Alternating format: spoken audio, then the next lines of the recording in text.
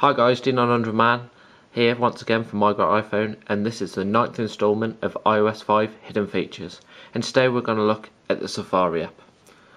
So as you'll probably notice that my Safari app here has got a black border and that's because private mode has been initiated and this is a new feature within iOS 5. So let's see how we can set this up. So if we go into Safari in the settings app and you've got an option for private browsing on and off.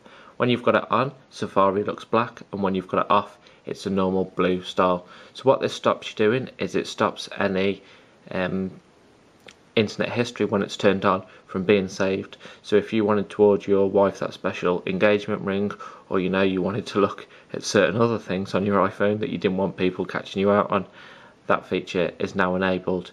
Now there's another feature in Safari which I'm really really happy about and this is open links.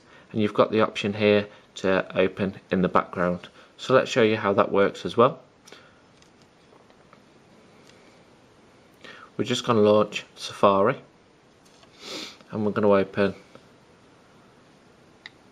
the My Great iPhone website. We'll just wait for this to load for a second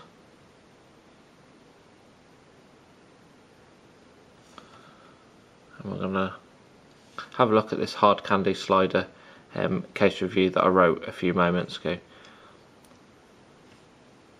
As you can see there's loads of different links here. So what this would normally do is it would normally open a web page um, and flick you straight to that.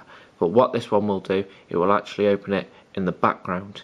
Another really nice feature is if it's got an iTunes app link, it will actually open the App Store in the background as well so you can carry on reading the page that you're already on.